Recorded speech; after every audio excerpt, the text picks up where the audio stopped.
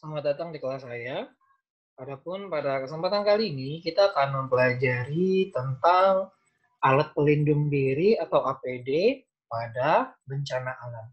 Ya, jadi kalau APD saya rasa saudara semua sudah pernah mendengar ya istilahnya. Nah, yang pada kali ini akan kita pelajari adalah mengenai APD pada bencana alam. Oke, yang pertama ini adalah acuan yang akan kita gunakan dalam materi pada kesempatan kali ini, yaitu Permenkar, Permenaker Trans atau Peraturan Menteri Tenaga Kerja ya nomor eh, 8 garis miring men garis miring 7 garis miring 2020 2010 tentang alat pelindung diri. Nah, jadi file ini nanti dapat saudara download sendiri ya dari Google dan bisa dijadikan referensi untuk tambahan informasi terkait dengan alat pelindung diri. Nah, yang pertama kita kembali mengingat-ingat materi kita yang dulu-dulu mungkin ya mengenai definisi dari alat pelindung diri. Jadi alat pelindung diri adalah kelengkapan yang wajib digunakan saat bekerja sesuai dengan bahaya dan risiko kerja untuk menjaga keselamatan pekerja itu sendiri dan orang-orang di sekelilingnya. Ya, jadi secara umum definisi APD adalah itu. Kemudian APD juga ini menurut Demarker ya, APD adalah alat yang mempunyai kemampuan untuk melindungi seseorang dalam pekerjaan yang fungsinya mengisolasi tubuh tenaga kerja dari bahaya di tempat kerja. Jadi intinya adalah bagaimana agar si pekerja ini terlindungi dari risiko bahaya apa pun selama dia bekerja. Jadi dia digunakan sebagai uh, salah satu kewajibannya sebagai tenaga kerja ya, jadi harus memakai APD dalam bekerja. Tujuannya adalah untuk menghindari risiko bahaya dan juga tentu saja untuk mengurangi kerugian yang muncul akibat uh, adanya kecelakaan atau peristiwa-peristiwa yang terjadi jika tidak digunakan APD. Ya. Kemudian, uh, secara umum APD itu seperti kita ketahui adalah digunakan di tempat kerja yang memiliki risiko bahaya dan menyebabkan kecelakaan kerja.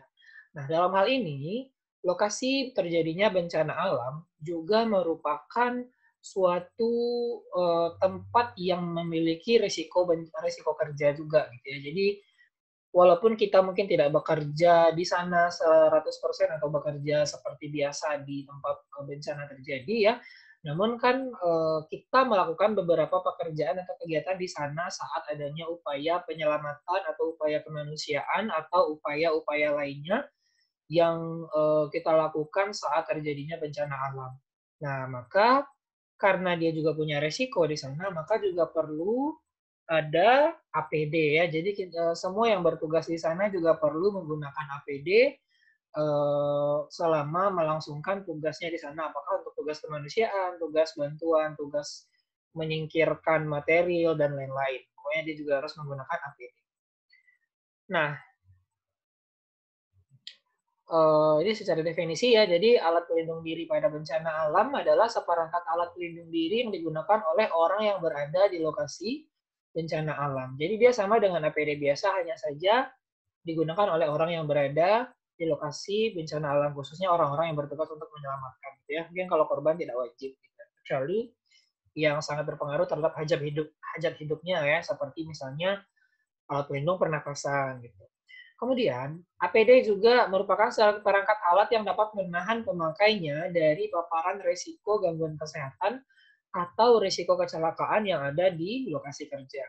Eh, di lokasi bencana alam, maaf. Ya, jadi sebagaimana yang kita ketahui bahwa di lokasi bencana alam adalah situasinya itu tidak aman ya. Tentunya masih banyak sekali risiko yang mengancam eh, siapa saja yang sedang bertugas dalam penyelamatan di sana. Nah, jadi tujuan dari penggunaan APD pada bencana alam ya, pada petugas-petugas yang turun nantinya dalam lokasi-lokasi bencana alam. Yang pertama adalah melindungi tubuh atau melindungi sebagian tubuhnya terhadap kemungkinannya kemungkinan adanya potensi bahaya dan kecelakaan di lokasi bencana alam. Ya, ini misalnya kayak dari kemungkinan adanya runtuhan bangunan ya, jadi dia pakai APD dari kemungkinan adanya banjir susulan ya maka dia pakai APD dari kemungkinan adanya eh, debu-debu yang dapat membahayakan pernapasan. Nah, maka dia pakai APD ya karena di lokasi bencana alam memang kondisi dan situasinya itu tidak dapat kita uh, prediksi ya. Kita pikir secara kasat mata tampaknya aman-aman saja, namun ternyata tidak. Jadi ada banyak risiko yang mengancam di lokasi tersebut.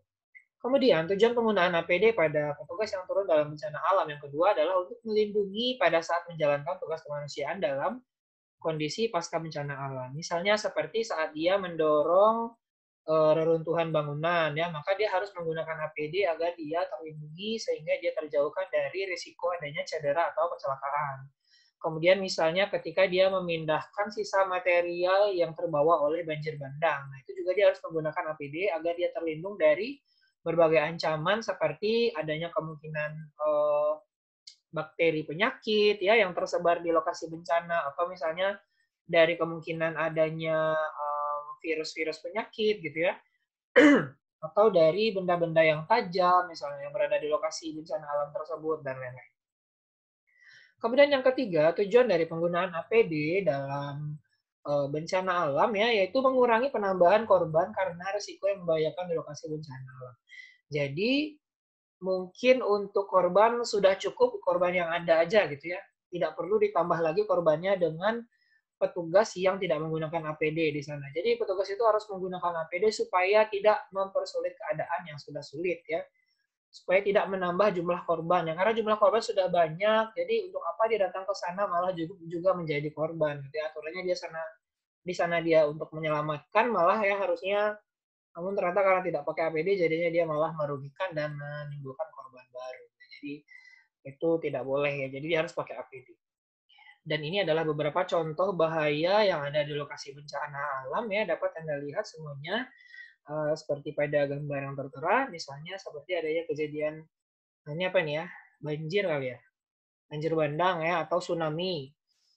Nah juga ada kejadian gempa ya jadi bisa dilihat ada banyak sekali reruntuhan bangunan dan ada banyak sekali puing-puing ya yang tentu saja bercampur baur di sana apakah dia aman atau tidak apakah dia tumpul atau tajam apakah dia dapat tercerai berai apakah dia dapat menimpa ya apakah dia dapat melukai, jadi berserakan gitu ya sisa-sisa bangunan itu.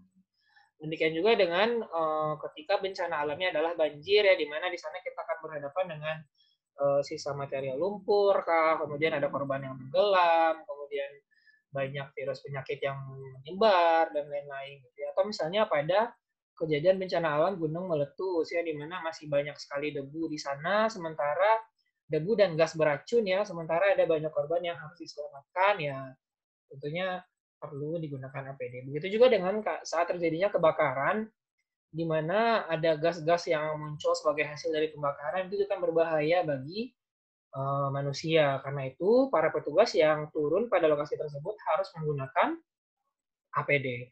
Selain untuk menjaga pernapasannya, juga misalnya kayak perlindungan agar badannya tidak terbakar atau agar kepalanya tidak tertimpa uh, material yang uh, berjatuhan karena kebakaran dan lain-lain. Gitu ya. Jadi ada banyak sekali resiko bahaya dan risiko kecelakaan yang ada di lokasi bencana alam. Untuk itu perlulah digunakan alat pelindung diri.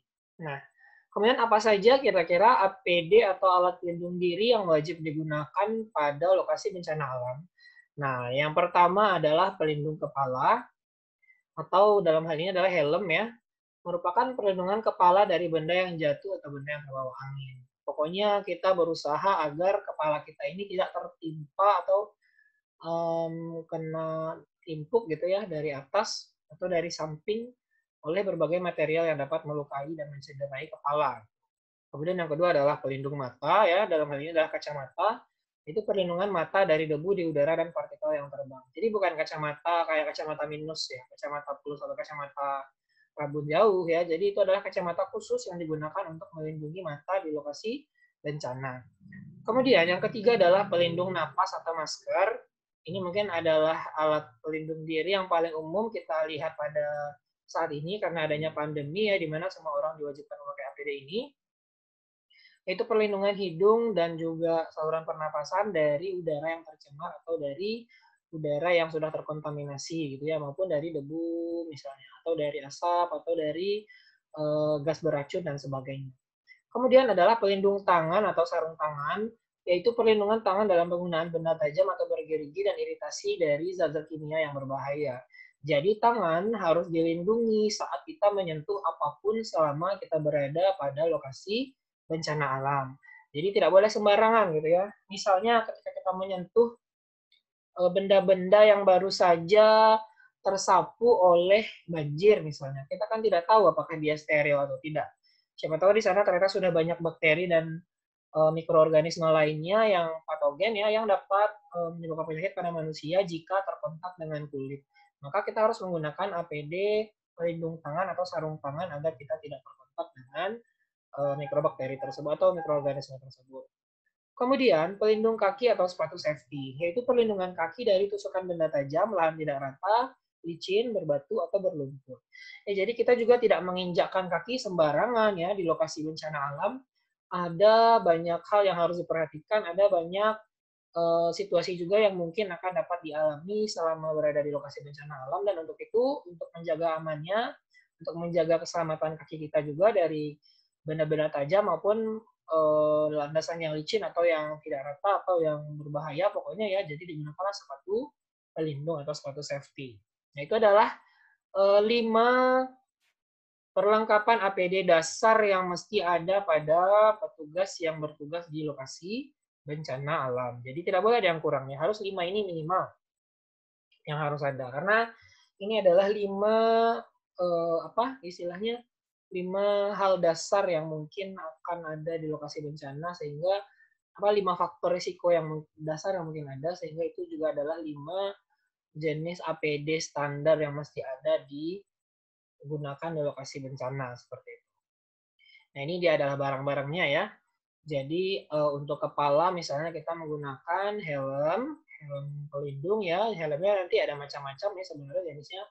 Lalu ada perlindungan mata ya ini ada kacamata Google. Jadi kacamatanya juga nggak sembarangan ya. Jadi kacamata ini yang kecil itu adalah kacamata minus plus jadi itu bukan pelindung dari paparan risiko ya, itu adalah alat bantu untuk melihat sebenarnya. Sedangkan kalau kacamata pelindung itu adalah gunanya untuk melindungi mata dari paparan risiko risiko bahaya. Kemudian adalah pelindung pernafasan ya, di sini adalah masker, lalu ada pelindung badan juga ya, ini adalah uh, baju safety, lalu ada pelindung tangan yaitu sarung tangan dan juga pelindung kaki itu sepatu safety. Nah, yang pertama kita bahas dulu mengenai perlindungan kepala.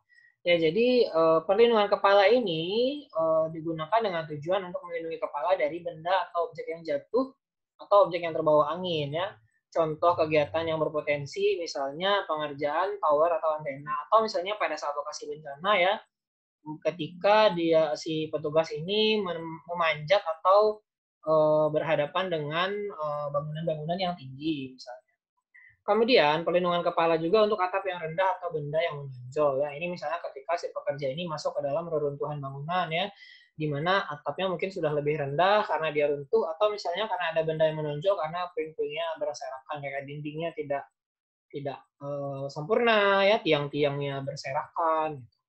Kemudian yang ketiga yang ruangan sempit atau berjalan di gunung ya, misalnya ketika petugas memasuki area hutan atau area yang banyak kayunya ya atau area yang gua-gua gitu ya maka dia juga harus menggunakan pelindung kepala supaya kepalanya terlindungi dari risiko bahaya. Kemudian perkabelan atau komponen listrik terbuka. Misalnya ketika ada upaya penyelamatan pada uh, area yang banyak kabelnya ya. Misalnya mungkin sisa gempa dan tsunami, lalu di situ banyak kabel-kabel yang terpasang ya, maka juga itu perlu agar kepalanya aman dari uh, berbagai resiko akibat listrik. Nah, kriteria APD untuk kepala adalah yang pertama tentunya tahan terhadap tembusnya objek, menyerap goncangan atau benturan. Jadi di dalamnya diupayakan harus bahannya lembut sehingga ketika ada benturan dari luar, kepalanya tidak merasakan sakit ya atau tidak menimbulkan lecet atau goresan atau luka ya. Kemudian yang ketiga, tahan air dan terbakar lambat. Jadi jangan gunakan bahan yang dapat menyerap air. Jadi topi itu tidak dapat digunakan ya. Kemudian apa lagi? Kupluk tidak dapat digunakan ya. Jadi memang harus helm pelindung. dan pastikan juga dia terbakar lambat. Jadi jangan gunakan bahan yang sangat cepat terbakar seperti kain ya. Gunakanlah mungkin yang agak lebih sulit terbakar ya. Mungkin uh, plastik jenis tertentu atau misalnya uh, logam gitu ya kalau ada. Enggak berarti ya yang standar lah ya plastik jenis tertentu gitu ya yang tidak terlalu cepat terbakar. Nah, selanjutnya kriteria APD kepala ini adalah dengan industri dengan instruksi penjelasan pengaturan yang jelas, penggantian penyangga dan pita kepala. Jadi dia kan ada banyak komponen di dalam helm ini gitu ya. Ada penyangganya, ada pita kepalanya, ada bagian empuknya ya. Jadi dia harus diganti sewaktu-waktu apalagi kalau dia udah, udah rusak atau sudah tidak dapat digunakan dengan normal. Kemudian memenuhi ketentuan-ketentuan ketenaga kerjaan kelas A atau B ya. Selanjutnya inilah perlindungan mata, seperti yang saya bilang tadi, digunakan untuk melindungi mata dari debu di udara dan partikel yang terbang, karena itu dapat menyebabkan iritasi pada mata. Ya. Jadi, eh, misalnya kegiatan yang berpotensi, misalnya penilaian kerusakan, ya ketika ketika petugasnya itu menilai kerusakan yang ada di tempat eh, lokasinya terjadinya bencana. Kemudian peramalan cuaca ini mungkin untuk eh, yang bukan turun di lapangan, ya. Kemudian yang kedua adalah iritasi kimia berbahaya, seperti zat kimia dari aki, dari baterai, kemudian dari besi yang disolder, kemudian dari alat yang direparasi dan lain-lain. Nah ini mungkin tidak banyak yang terjadi ya di lokasi bencana, mungkin yang reparasi alat ya yang mungkin mungkin terjadi di lokasi lokasi bencana alam. Kemudian paparan cahaya kuat atau laser. Nah ini juga eh, melindungi mata dari hal tersebut gitu ya. Misalnya di sana ada aktivitas pembangunan ya seperti bangunan yang telah runtuh lalu dibangun lagi, maka akan banyak sekali proses kayak pengelasan, pemotongan, ya, dan penggunaan laser. Maka kacamata di sana berfungsi untuk melindungi mata agar tidak terkena resiko dari laser itu. Kemudian paparan darah atau cairan tubuh, karena um, seperti yang kita ketahui penyakit dapat menular dari darah atau cairan tubuh. Jadi mata sebagai organ yang terbuka ya yang langsung berhubungan dengan bagian dalam tubuh, maka dia harus dilindungi gitu ya dan ini banyak fungsinya ketika dalam proses pertolongan pertama ya atau tindakan. Oke, kriteria APD mata yang pertama melindungi dari bahaya yang spesifik yang ditemukan, kemudian harus nyaman digunakan karena dia dipakai waktu yang lama biasanya ya. Kemudian tidak boleh menghambat penglihatan atau pergerakan. Jadi juga jangan kacamata yang lebay ya, yang yang hitam sekali misalnya atau yang bahannya terlalu tebal sehingga malah dia itu menghambat penglihatan atau menghambat pergerakan. Kemudian tidak mudah pecah dan tidak mudah eh, dan juga alat itu harus mudah dibersihkan dan didisinfeksi. Jadi menggunakan eh, bahan yang tidak ketika dia agak jatuh sedikit langsung pecah kayak kacamata biasa, jangan ya. Jadi dia harus digunakan bahan yang khusus yang tidak mudah pecah. Dan dia juga harus mudah dibersihkan ya karena dia sering digunakan dan dia akan dipakai berulang-ulang. Beda dengan sarung tangan ya yang mungkin bisa dipakai sekali saja lalu dibuang atau masker gitu ya. Jadi kacamata akan dipakai berulang-ulang kemudian tidak tidak boleh mempengaruhi APD lain yang digunakan. Jadi jangan kacamatanya ini yang sampai membuat kita tidak bisa menggunakan helm misalnya. Yang jangan sampai dia kacamata yang terlalu besar sampai membuat kita tidak bisa menggunakan masker dan lain-lain ya. Nah, selanjutnya adalah perlindungan tubuh dan napas. Jadi eh, perlindungan eh, tubuh dan napas ini khususnya misalnya dari percikan debu atau kimia iritatif ya untuk yang napas Misalnya seperti kegiatan pembersihan reruntuhan bangunan, ya, kemudian pemeliharaan dan pengisian aki atau baterai. Kemudian untuk yang perlindungan tubuh ya, penggunaan benda tajam atau bergerigi. Misalnya ketika petugas ini keluar masuk dari bangunan yang rusak ya atau bangunan yang runtuh atau misalnya kegiatan-kegiatan besar ya seperti melakukan uh, penyelamatan, maka itu jadi harus menggunakan uh, perlindungan tubuh supaya tubuhnya tidak terluka atau cedera. Kriteria APD-nya lah yang pertama um, harus menentukan pemilihan yang tepat. Jadi jangan sembarangan gitu ya. Jadi APD yang dipilih itu sudah ada ketentuan dan apa istilahnya? Sudah ada pertimbangan kenapa dia jadinya dipilih, kenapa bukan APD lain gitu ya. Kemudian yang kedua dia harus nyaman digunakan karena kalau dia tidak nyaman maka pekerja akan cenderung melepas-lepaskan APD tersebut. Kemudian yang ketiga mencegah atau mencegah atas panas, dingin, angin, hujan dan percikan kimia. Jadi baik perlindungan napas dan juga perlindungan tubuh ini akan mencegah si pekerja ini terpapar dari panas, dingin, angin, hujan, percikan kimia dan lain-lain ya. Kemudian dia harus tahan sayatan, tusukan dan abrasi khususnya untuk badan ya. Jadi jangan sampai menggunakan baju yang terlalu tipis. Jadi bajunya kalau bisa memang tebal sehingga ketika melewati bangunan yang misalnya tidak rata dan ketika tergores ya badan kita tidak apa-apa gitu ya. Kemudian dia harus mudah dibersihkan karena dia akan dipakai berulang. Ini untuk baju ya, sedangkan untuk masker mungkin dia dapat digunakan sekali saja lalu dibuang. Selanjutnya adalah perlindungan tangan. Nah, jadi eh, kegiatan-kegiatan yang dilakukan di dalam lokasi bencana, misalnya yang memerlukan perlindungan tangan, seperti saat adanya kegiatan pemotongan, ya. Kemudian kegiatan yang menggunakan benda-benda tajam atau benda-benda bergerigi, seperti saat penilaian kerusakan, penilaian logistik, penilaian material, dan lain-lain. Kemudian iritasi kimia berbahaya. Jadi jangan sampai tangan kita terkena paparan dari zat kimia yang berbahaya karena itu dapat menimbulkan gangguan kesehatan. Nah, seperti misalnya pengisian aki atau baterai dari cairannya yang kemudian penyelenggaraan.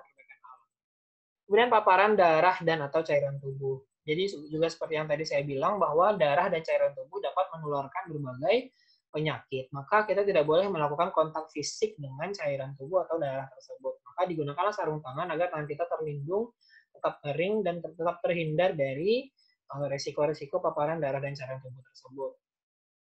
Nah, ini misalnya misalnya kayak waktu adanya kegiatan pertolongan pertama ya pada korban yang baru ditemukan. Kemudian medik darurat atau tindakan ya. Selanjutnya adalah kegiatan apa? melindungi tangan dari paparan panas atau lecet. Ini digunakan saat misalnya adanya kegiatan penyolderan, memasak, kali temali, labor manual dan lain-lain. Jadi digunakanlah sarung tangan untuk melindungi tangan sehingga dia terhindar dari paparan panas dan juga lecet. Kemudian perkabelan atau komponen listrik yang terbuka. Jadi supaya kita tidak kena setrum, maka digunakanlah sarung tangan. Jadi bahannya juga memang diutama, diutamakan adalah bahan yang eh, apa tuh istilahnya? Pokoknya bukan konduktor. Ya, jadi bukan yang tidak dapat harus benda yang bahannya tidak dapat menghantarkan listrik ya. Jadi seperti karet ya, kemudian oh, kain.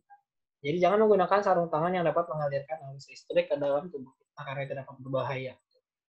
Nah, kriteria APD untuk sarung tangan ini atau untuk tangan adalah yang pertama sudah harus menentukan dulu ini bahayanya dan resikonya apa di tempat kerja tersebut sehingga bisa menggunakan sarung tangan yang tepat. Karena dari gambar juga bisa dilihat ya sarung tangan itu ada macam-macam, ada yang dari karet, ada yang dari kain, ada yang tebal, ada yang menengah, ada yang tipis, ada yang ada pelindung tangan, uh, pelindung sendinya, ada yang ada pori-porinya gede untuk bernapas dan lain-lain gitu tangannya ya. Jadi harus ditentukan dulu nih jenis bahaya dan jenis pekerjaannya sehingga sarung tangan juga berbeda-beda. Kemudian dia harus nyaman digunakan karena kalau dia tidak nyaman digunakan maka akan dilepas-lepas. Kemudian mencegah atas panas dan dingin. Kemudian tahan sayatan dan tusukan dan abrasi ya. Ini juga tadi sama dengan APD lainnya. Kemudian dia harus lentur dan mudah dibersihkan. Karena kalau APD-nya apa kalau sarung tangannya tidak lentur maka dia akan menghalangi kita untuk bergerak atau menghalangi tangan kita untuk dapat mencengkeram benda-benda tertentu gitu ya. Kemudian mencegah mencegah paparan kimia dan patogen melalui darah. Ya, jadi dia tidak boleh dapat ditembus oleh air ya sebenarnya sarung tangan ini harus bisa kedap dari darah atau cairan tubuh karena itu dapat menularkan penyakit-penyakit tertentu. Kemudian harus sarung tangannya harus apa nih? Sarung tangan kerja alat dari kulit atau kanvas. Ya boleh ya bahannya dari kulit atau kanvas. Kemudian sarung tangan kimia sarung tangan tahan kimia atau cairan. Jadi jangan sampai nanti sarung tangannya malah bereaksi dengan zat-zat yang tersentuh. Jadi dia harus dipastikan adalah eh, bahannya itu adalah bahan yang netral atau bahan yang tidak akan dapat bereaksi dengan bahan lainnya ketika dia berkontak. Kemudian sarung tangan pemeriksaan medis ini misalnya kayak yang lagi dipakai Bapak Ibu yang penanggulangan bencana ini ya, yang COVID atau pandemi gitu ya. Jadi harus menggunakan sarung tangan yang uh, selalu diganti. Jadi sarung tangannya sarung tangan karet atau latex ya. Nah, gitu. Jadi dia tentukan bahayanya, dia tentukan jenis pekerjaannya, maka dari situ juga bisa ditentukan sarung tangan yang mau digunakan. Kemudian kebutuhan rinci dalam pemilihan dan penggunaan sarung tangan karet isolator bagi penggunaan pencegahan bahaya listrik. Karena asumsinya adalah karet tidak dapat menghantarkan listrik. Oke, selanjutnya adalah perlindungan kaki. Jadi eh, digunakanlah sepatu safety untuk perlindungan kaki dengan tujuan untuk misalnya melindungi kaki dari tusukan benda tajam dan benda bergerigi. Yang mana kegiatannya misalnya ketika adanya penilaian kerusakan atau ketika adanya observasi lokasi reruntuhan ya atau belusukan ke gorong-gorong misalnya dan lain-lain. Kemudian lahan tidak rata berbatu licin yang berlumpur ini sama ya. Kemudian perkakas peralatan benda berguling atau runtuh. Jadi kita kan tidak pernah tahu ya di lokasi bencana itu apakah sisa-sisa eh, bencana atau puing-puing bangunan akibat bencana itu akan meluncur ketika diinjak atau akan runtuh ketika diinjak atau tidak atau bagaimana kan kita tidak tahu maka digunakanlah sepatu safety untuk melindungi agar kaki kita tidak terperosok atau kaki kita agar tidak terluka ya. Nah kemudian uh, kegiatannya seperti pada logistik pengadaan atau penataan pos ya. Kemudian perkabelan atau komponen listrik terbuka. Ini juga sama dengan sarung tangan agar kita tidak tersetrum kaki kita oleh uh, sistem listrik yang terbuka Selanjutnya adalah material berbahaya atau mudah terbakar. Ya. Jadi supaya kaki kita tidak terkena bahan atau material yang mudah terbakar tersebut, seperti saat mengisi BBM atau ketika memberikan minyak pada mesin mesin yang ada di lokasi bencana. Ya, jadi untuk kriteria yang sendiri untuk KPD kaki ya, dia harus tahan tembusan benda tajam, kemudian dia harus nyaman digunakan, karena kalau tidak nyaman akan dilepas-lepas. Kemudian harus tahan benda tajam karena jadi bisa saja di situ ada paku ya, jadi jangan sampai malah kita jadi korban ya ketusuk paku lalu um, kena penyakit uh, apa? Tetanus misalnya sehingga malah kita bukannya meringankan beban orang malah kita menambah beban orang ya. kemudian alat dan mudah dibersihkan dari disinfeksi. Jadi dia harus um, sepatu safety yang mudah dibersihkan dan mudah uh, dilakukan disinfektan disinfektan pada sepatu tersebut gitu. Kemudian memberikan traksi yang aman pada permukaan licin atau tidak rata jadi dia harus pastikan uh, bawahnya itu ada ulir-ulirnya ya ada um, desainnya sehingga dia tidak mudah terpeleset kita kalau kita pakai sepatu itu. Kemudian memberikan penyangga ankle, jadi sepatunya harus agak tinggi ya, jadi harus ada ada haknya. Kemudian memenuhi perlindungan benturan dan kompresi sesuai dengan peraturan ketenagakerjaan. Jadi dia harus tahan tekanan ya, jangan yang sepatu yang ketika ditekan sedikit sudah kena kaki atau sudah terasa sakit di kaki, jangan ya. Jadi sepatunya sepatunya harus tebal, dan harus uh, tahan benturannya. Jadi jangan sekali kepentok langsung luka kaki kita. Jadi harus kuat bahannya, harus tebal. Kemudian bisa dengan rancangan non elektrik konduktif untuk mencegah dari bahaya listrik. Ini juga sama dengan sarung tangan ya. Jadi harus dipastikan bahwa dia juga tidak dapat mengandalkan harus listrik. Jangan sampai nanti menggunakan sepatu yang malah justru bikin kita kesetrum gitu ya. Nah, ini adalah salah satu contoh poster yang dibuat oleh Disaster Management Institute of Indonesia atau DMII yang bekerjasama dengan ACT ya, Aksi Cepat Tanggap. Nah, um, ini disampaikan di sini apa saja APD wajib yang ada di lokasi bencana dan apa alat pendukung di lapangan ya. Nah, jadi APD wajibnya tadi seperti yang saya sampaikan ada helm, kacamata, masker, sarung tangan, dan sepatu safety. Dan untuk APD pendukung yang lainnya ya yang ada di lokasi bencana alam ini ada seperti first aid atau kotak P3K, lalu headlamp ya atau lampu yang diletakkan di helm yang center kepala, kemudian peluit, kemudian ponco atau jas atau pelampung, kemudian botol minum, kemudian handy talkie, kemudian power bank dan juga sleeping bag. Nah, kita ulas sedikit.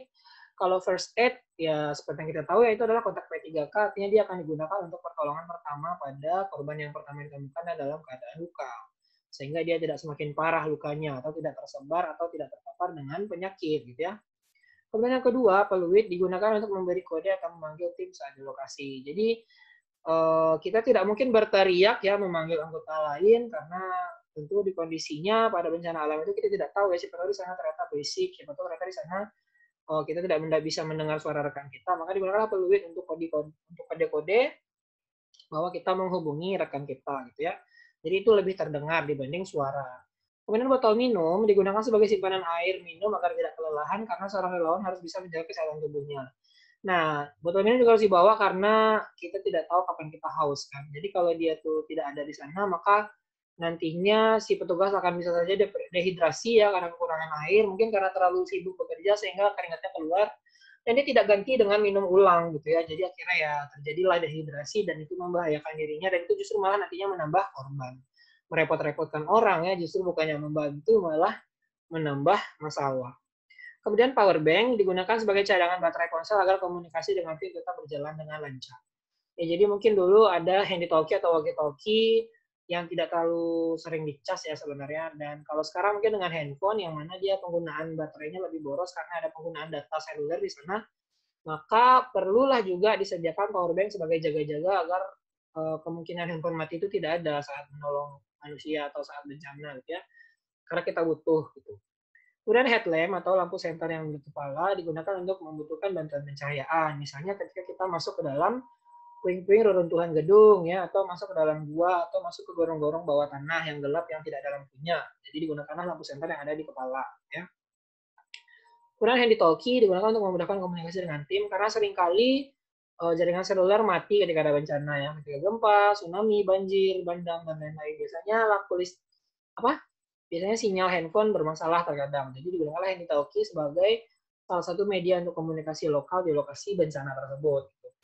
Kemudian sleeping bag yang digunakan untuk beristirahat di lokasi jika diperlukan. Artinya kalau misalnya kita terpaksa harus tidur di lokasi bencana alam, maka uh, setidaknya jangan kita um, menimbulkan penyakit baru dengan tidur di udara terbuka di luar ya. Di tidur di tanah atau tidur di, di rumput. Jadi gunakanlah sleeping bag sehingga kita tetap terlindung badannya dari suhu atau dari serangga atau dari binatang berbahaya ya atau dari mana pun jadi terlindung dengan menggunakan sleeping bag sehingga kesehatan kita lebih terjamin dan resiko dijauhkan. Nah, terakhir mengenai manajemen APD atau manajemen alat pelindung diri. Jadi bagaimana kita mengatur agar APD eh, dapat selalu digunakan, dapat ready, dapat standby ya. Jadi ini adalah beberapa contoh manajemennya. Yang pertama harus ada identifikasi kebutuhan dan syarat APD. Nah, jadi kita sebagai orang yang akan turun harus melakukan identifikasi kebutuhan. Uh, jadi apakah uh, eh, APD-APD tertentu dibutuhkan untuk kegiatan kita atau tidak ya? Terus apakah APD-nya sudah sesuai syarat atau belum? Itu juga harus diperhatikan. Kemudian pemilihan APD yang sesuai dengan jenis bahaya dan kebutuhan atau kenyamanan pekerja atau buruh. Jadi uh, eh, APD itu juga seperti yang di awal ya, setelah kita identifikasi kebutuhan, kita harus memilih APD-nya sesuai dengan kebutuhan dan juga sesuai dengan jenis bahaya gitu ya. Jadi ketika kita ingin melakukan uh, pertolongan pada korban gempa ya yang ada di daerah desa, daerah daratan atau perbukitan, jangan kita menggunakan membawa APD pelampung karena nggak ada gunanya di sana. Jadi itu maksudnya memilih APD yang cocok. Kemudian pelatihan artinya mungkin ada beberapa orang yang awam dengan menggunakan APD tersebut, maka dilakukanlah pelatihan agar dia tahu cara menggunakannya sehingga dia tidak merusak APD tersebut. Kemudian penggunaan, perawatan, dan penyimpanan ini adalah upaya pemeliharaan pada APD yang dimiliki agar dia panjang umur dan tidak gampang rusak gitu ya. Kemudian penata laksanaan pembuangan atau pemusnahan. Nah, ini untuk APD yang misalnya sudah rusak dan tidak dapat digunakan lagi atau APD yang sudah terinfeksi oleh bakteri dan virus sehingga dia kalau digunakan lagi akan beresiko menularkan penyakit. Maka dia tidak digunakan lagi. Maka dibuang atau dimusnahkan. Kemudian pembinaan ya, jadi dibina bagaimana penggunaannya. Kemudian inspeksi ya, jadi dicek apakah orang-orang yang bertugas ini sudah menggunakan APD-nya dengan baik dan benar dan sesuai ketentuan gitu ya. Kemudian yang terakhir adalah evaluasi dan pelaporan. Artinya harus ada evaluasi dan pelaporan dari pihak manajerial ya yang mengeluarkan atau yang mengelola, mengelola APD. Artinya kalau misalnya ada rusak harus disampaikan ya yang mana rusak berapa jumlahnya sehingga kalau bisa diperbaiki diperbaiki atau kalau misalnya harus dibeli baru maka dia harus diganti yang rusak itu. Karena kita tidak dapat menggunakan APD rusak untuk uh, bekerja karena itu dapat berbahaya dan memberikan risiko bahaya pada pekerja menggunakan alatnya. Oke, baiklah demikianlah materi yang dapat saya sampaikan pada kesempatan kali ini. Semoga Anda semuanya dapat memahaminya dengan baik.